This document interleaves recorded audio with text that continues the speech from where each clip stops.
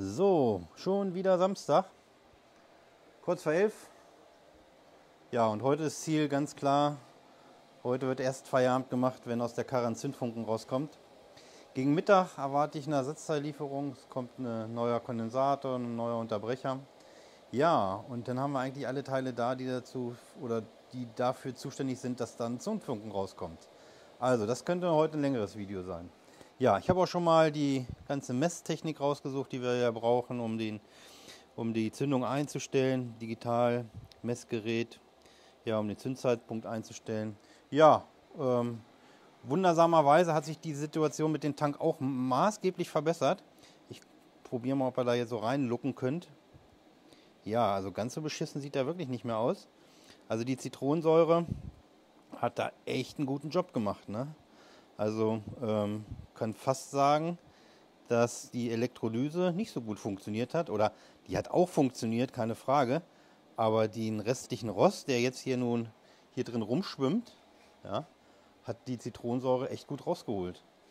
Ja, ja ich mache nochmal einen Waschgang. Ich lasse nochmal ein bisschen Zitronensäure drin, bevor ich es dann mit dem Rostio ausspüle.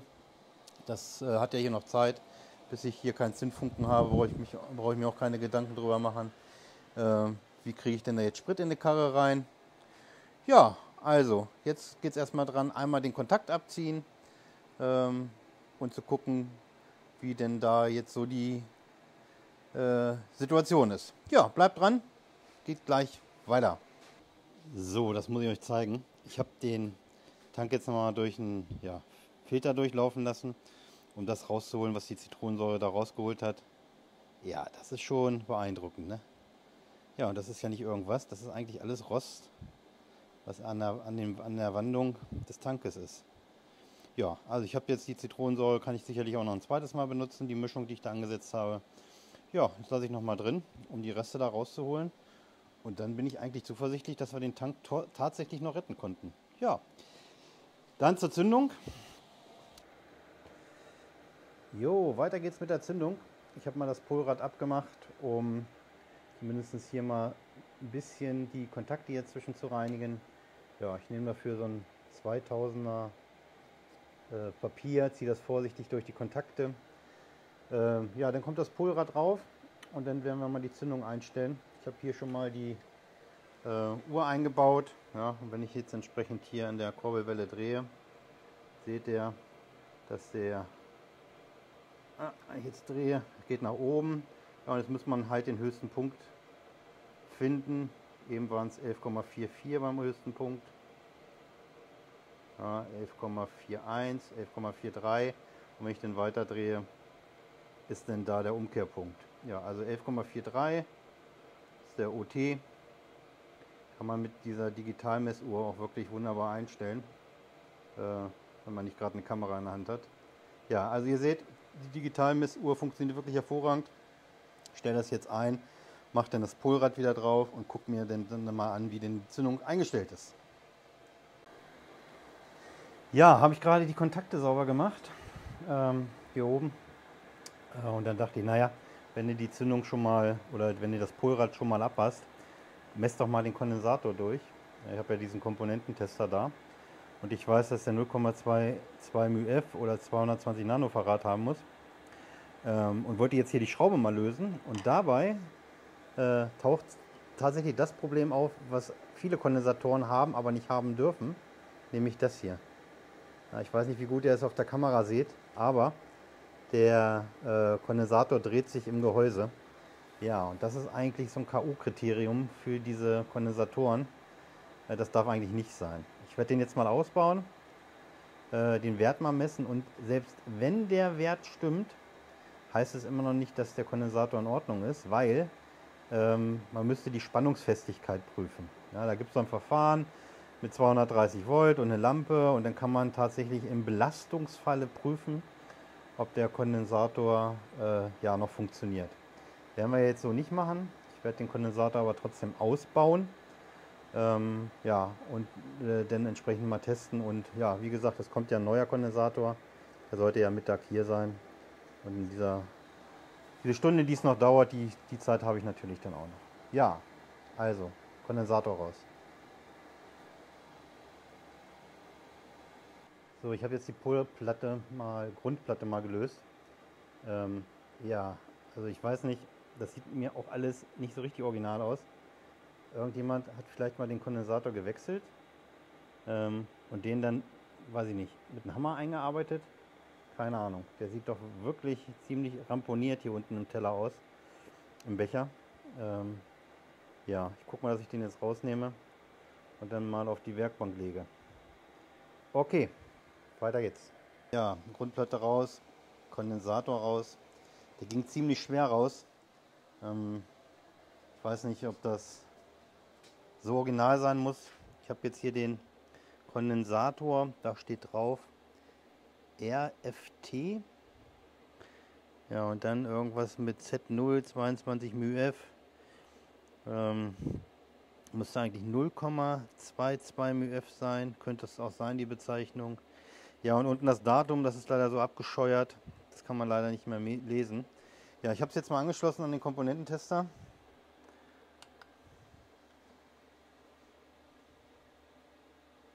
Ja, ihr seht, ganz so schlecht ist der nicht. Der hat 240, 214 Nanofarad, also 0,21 Mikrofarad. Ja, schlecht ist er nicht.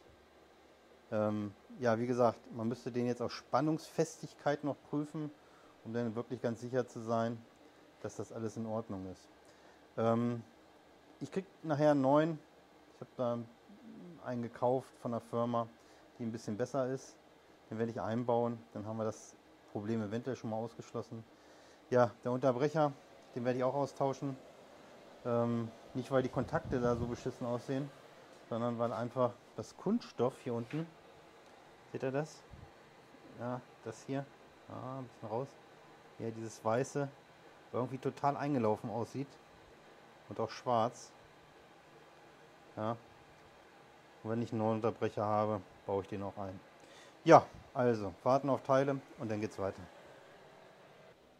So, ich habe einen Fehler gefunden. Ich habe hier mal Multimeter angeschlossen, Ohmmeter. Ähm, das, ist die, das ist die Leitung, die hier zu den Unterbrecherkontakt hingeht.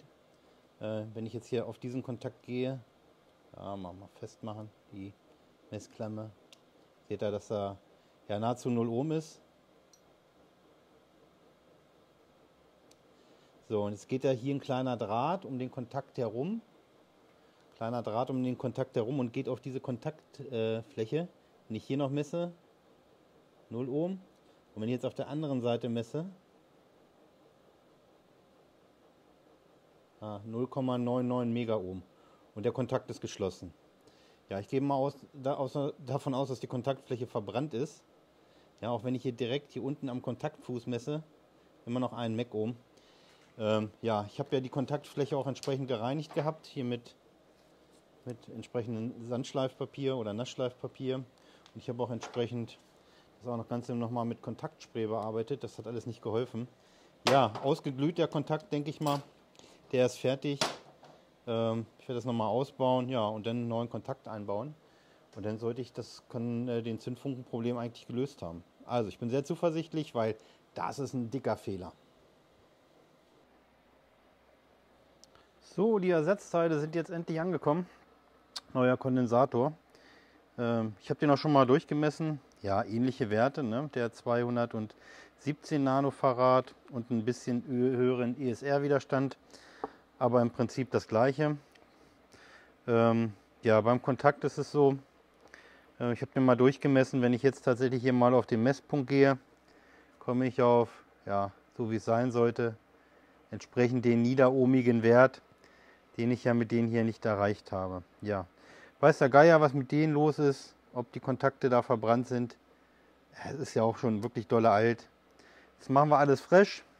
Neuen Kondensator, neue Unterbrechung, Unterbrecher und dann hoffe ich, dass da ein Funken rauskommt. Ja, werdet ihr ja gleich sehen. So, und wenn man beim Schrauben noch Langeweile hat, dann kann man nebenbei noch das Weidezaungerät der Frau reparieren. Aber deswegen seid ihr ja nicht hier. Ja, kein Pferdekanal, sondern wir kümmern uns um Pferdestärken. So, also alles eingebaut. Was gibt es zu beachten? Äh, besonders wichtig ist, dass man diese äh, Mutter mit Gefühl anzieht. Nicht, dass man das überdreht und hier wieder die Verklebung des Kondensators der Folie innerhalb des Bechers rausreißt. Das wäre nicht so schön. Ähm, ja, wenn ich mir den neuen Kontakt jetzt bei genauerer äh, Ansicht nochmal anschaue, fällt deutlich auf, dass die Kontakt, äh, Kontakte hier, die hier verbaut sind in den neuen, deutlich mehr äh, Futter haben als das hier. Ja, also die müssen schon ganz schön verbrannt sein. Äh, hier sieht man, dass sie doch deutlich besser aussehen. Ja, so, die sind jetzt eingebaut und jetzt hatte ich ja die Grundplatte raus und jetzt muss man natürlich die Grundplatte wieder einstellen, sprich die Zündung einstellen. Ähm, ja, ich fange jetzt erstmal oben an, OT zu finden und dann 1,8 zurückdrehen. Äh, ja, oder erst oben ähm, OT, dann müssen hier 0,4 sein, das stelle ich ein und dann drehe ich zurück und stelle die Grundplatte ein. Ja, wenn das passiert ist, nehme ich euch wieder dazu und dann geht es weiter. Ja, ist eine ziemliche Fummelei. Ich habe jetzt hier so einen ganz langen Schraubendreher genommen. Ja, wenn man die ähm, Mutter zum, äh, zum Festdrehen äh, dreht, kann sein, dass sich wieder der, der Abstand der Kontakte ändert. Ich habe jetzt hier 0,4 saugend. Ja, ich glaube, das ist jetzt okay. Ja, jetzt haben wir 11,42 OT, jetzt 1,8 mm zurückdrehen und dann müssen hier die, die Markierungen, die da sind, äh, entsprechend übereinander sein. Und das macht man dann mit der Grundplatte. Ja, geht weiter. So, wir kommen zum Höhepunkt des Tages. Die Zündung ist wieder zusammengebaut, oben eingestellt, war ja bei 11,42, 1,8 mm zurückgedreht. Ähm, ja, die Marken haben dann hier auch entsprechend so übereinander gepasst. Ich habe dann äh, geguckt, dass der Kontakt entsprechend dort auch öffnet tatsächlich. Ich habe hier eine 0,05 äh, Leere zwischengelegt. Das ist ein bisschen weniger als ein Blatt Papier, das hat 0,08. Ja, also der Kontakt öffnet. Ja, genau da, wo es auch tun sollte. Ich habe dann mal, bin direkt von der Zündspule kommen, von der Lichtmaschine hier auf den äh, entsprechenden Pluspol der Zündspule gegangen. Ja, und jetzt müsste nach Adam Riese hier ein Zündfunke rauskommen, wenn man alles richtig gemacht hat. Ich nehme jetzt hier mal so, ein, so eine Bohrmaschine aufs Polrad und lasse einmal laufen. Und dann muss da ein Funken kommen. Ja. Ja! Habt ihr gesehen? Der Funke ist da. Funktioniert. Jetzt ist natürlich die Frage, wie gut ist die Zündung eingestellt, aber das wird man dann sehen, wenn sie läuft. Ähm, werde jetzt nochmal den Vergaser dran bauen bisschen gemischt zusammenmischen und mal gucken, ob sie hustet. Ja? Und dann sind wir nur eine Woche weiter als geplant und vielleicht gibt es ja schon mal einen Ton von sich. Ja, prima. Also Zündung erneuert, Kontakt äh, neu gemacht, Kondensator neu gemacht, eingestellt. Äh, ist ein bisschen fummelig, aber das geht. Und äh, ja, mal gucken, ob sie dann entsprechend gleich läuft. So, weil ich es jetzt ja schon 26 Mal erzählt habe, mache ich es jetzt mal. Ossi angeschlossen. Ja, ähm, ihr habt ja gesehen, Zündspannung äh, ist da. Ähm, Zündkerze funkt, aber jetzt war ja immer noch die Frage, naja, wie viel haut der denn tatsächlich raus? Ich habe jetzt hier nochmal eine Bohrmaschine dran. Äh, ja, ich hoffe, ihr könnt das jetzt einigermaßen sehen, wenn ich es jetzt mal laufen lasse. Ja, ist wackelig. Ja, das ist das Signal. Tastkopf ist drauf, 1 zu 10. Und wenn ich richtig geguckt habe, ein bisschen über 150 Volt. Tatsächlich. Ähm, hätte ich nicht gedacht, dass da so viel rauskommt. Wie gesagt, bei den normalen kommt immer so 65 raus. Bei den, ich nenne es mal normalen Standardrollern. Ja, Abschlussbericht. Es ist jetzt, Mensch, Viertel nach fünf. Ja? Heute Morgen pünktlich begonnen. Tagesziel war klar gesetzt. Ging darum, dass ein Zündfunk rauskommt. Ja, hätte mir natürlich gehofft, dass der Motor wenigstens noch ein bisschen hustet. Ich habe jetzt hier mal provisorisch Sprit angeschlossen. Ja, überhaupt gar keine Reaktion, sehr ernüchternd. Zündfunken nach wie vor da, das habe ich geprüft, Zündung habe ich ja eingestellt. Aber ähm, er saugt nichts an. Ja.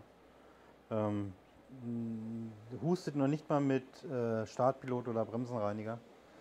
Ähm, ja, hatte ich eigentlich nur einmal und da war ein Simmering rausgeflogen, ähm, dass er deswegen da nicht angesaugt hat. Ähm, ja, also heute komme ich hier, fahre jetzt, jetzt erstmal nicht weiter. Ja, muss ich mir was einfallen lassen. Druckverlustprüfung irgendwie machen. Aber da muss man auch aufpassen, dass man denn die Simmeringe nicht äh, so rausknallt. Ja, also. Tagesziel trotzdem erfüllt. Zündfunke da. Alles andere die Tage. Ja? Also Glocke drücken, abonnieren und bleibt am Ball. Geht bald weiter.